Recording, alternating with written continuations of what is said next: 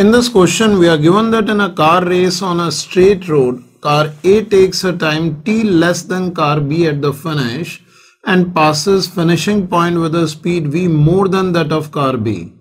And here it says both the cars start from rest and travel with constant accelerations a1 and a2 and we are required to calculate the value of v.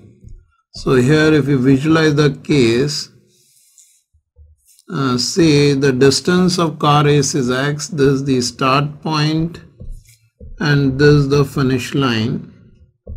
And say there are two cars a and b uh, which are traveling the distance x. So with accelerations a1 and a2 so if we consider car a reaches here in time t naught then its velocity uh, can be given as a1 t naught. Velocity of a we can write as a1 t naught. It is given car b takes uh, t times more than car a or a reaches time t less than car b. So it reaches here at t plus t naught. So we can write the velocity vb here is a2 times t naught plus t.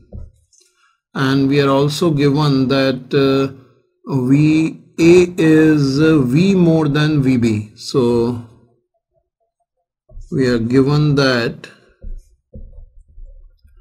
VA minus VB is equals to V. So here we use A1 T naught minus A2 T naught plus T is equals to V.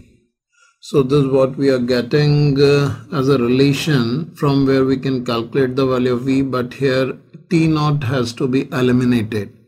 So we also use, we can also use the distance x is equals to half a1 t square t naught square is equals to half a2 t naught plus t whole square here half gets cancelled out and if we take the square root this root a1 t naught is equals to root a2 t naught plus root a2 t. It gives us a value of uh, t naught which we can use in this equation 1 so the value of t naught we are getting is uh, root a2 t divided by root a1 minus root a2 and this is the value of t naught we are going to use in equation 1 to eliminate the uh, time t naught here.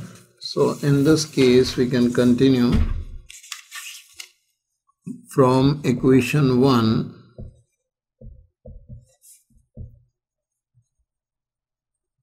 here we have in this equation 1 this is v is equals to a1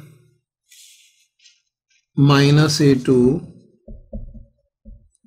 times uh, t naught uh, of which the value is uh, root a2t by root of a1 minus root of a2 minus a2t. So simplifying this it is giving us the value v is equals to here a1 minus a2 uh, can be cancelled out with the denominator and we are having root a1 plus root a2 multiplied by root a2t minus a2t so here also a2t gets cancelled out this gives root of a1 a2t this is what we are getting and it matches here with option D in this question so we'll choose our answer as option D